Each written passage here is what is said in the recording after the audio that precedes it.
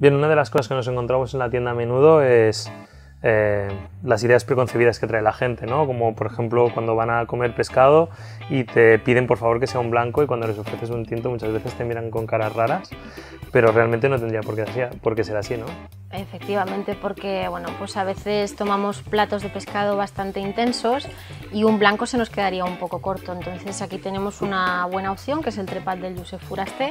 es un vino que tiene un color, veo, un poco peculiar, ¿no? Será por la variedad. Es una variedad singular de la conca del Barberá y es una variedad que podemos comparar un poco a la, a la Pinot Noir francesa muy fresca, muy elegante, con una muy buena eh, fruta y muy aromática que podría ir muy bien con este tipo de platos de pescados e incluso con algunos arroces. Efectivamente, sí. Muy bien, pues esperemos que con estos consejos de Gemma la gente empiece a ser un poco más atrevida y a probar cosas nuevas.